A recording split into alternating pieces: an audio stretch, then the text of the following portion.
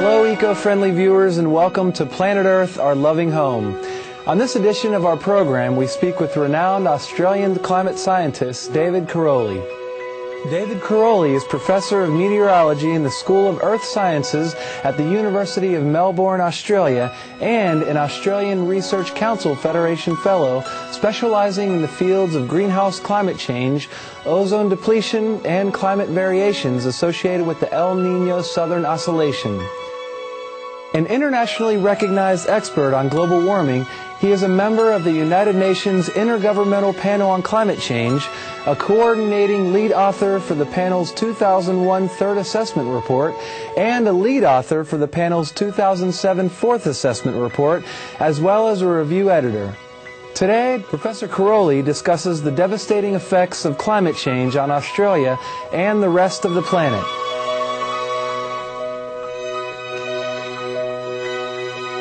The summers of 2007, 2008, and 2009 had less sea ice in the Arctic than any other year.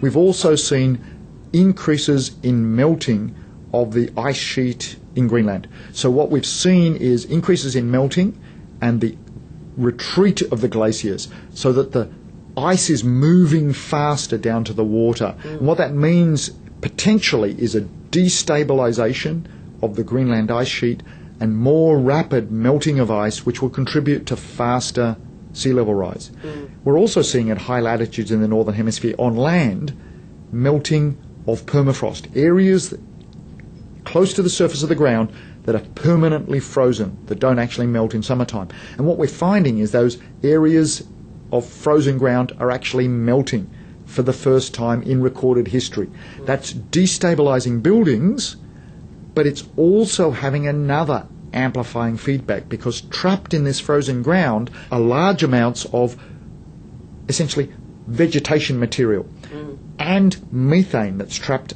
under the ground. When it melts, it releases the methane, and that also can amplify the rate of warming because methane is a very effective greenhouse gas, mm. much more effective per kilogram of methane than carbon dioxide. Mm. So Releasing methane from melting permafrost is another factor that increases the rate of climate change.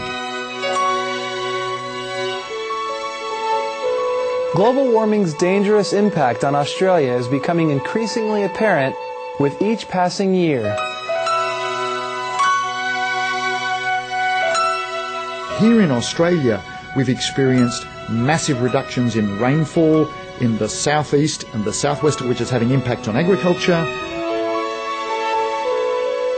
At the same time, the country is undergoing increasingly intense and frequent heat waves.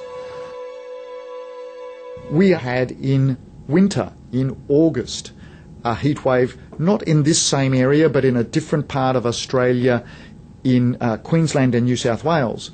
And then we again experienced record temperatures. Records not just for 30 years or 50 years, but records for the whole of the observational data for more than 100 years. And the remarkable thing, this is really what surprised me and many other climate scientists, mm.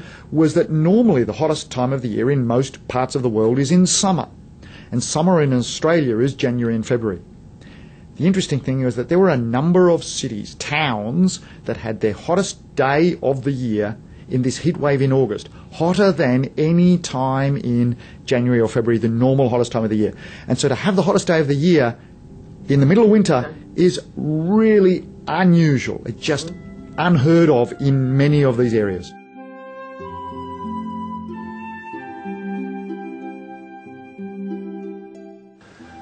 Besides recurring heat waves, droughts are also disturbing many parts of Australia, leading to extremely destructive wildfires.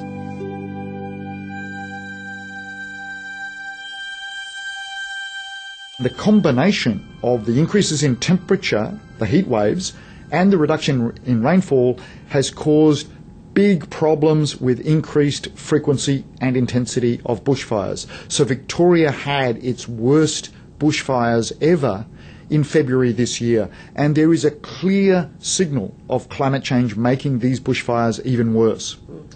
Nearly 170 people died in those bushfires.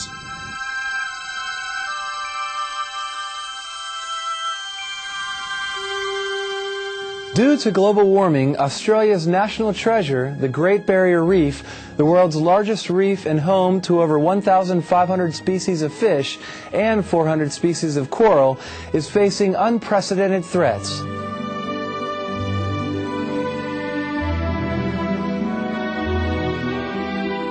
The Great Barrier Reef is a massive coral reef system down the eastern coast of Australia, in the northeastern part of Australia, more than a thousand kilometres long. That's been experiencing major damage called coral bleaching, where the colours in the coral associated with a symbiotic relationship between the coral polyps and small zooxanthellae. Um, they are being affected by increasing temperatures as well as being affected by changes in the acidity of the water because of increases in dissolved carbon dioxide. So the increasing temperatures and the increasing amounts of dissolved carbon dioxide are putting extra stress on the coral reef. They're causing the corals to bleach at an increasing frequency, and some of the corals are dying.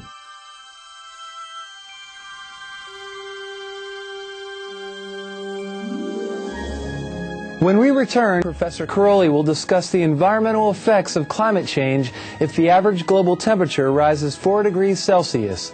Please stay tuned to Supreme Master Television.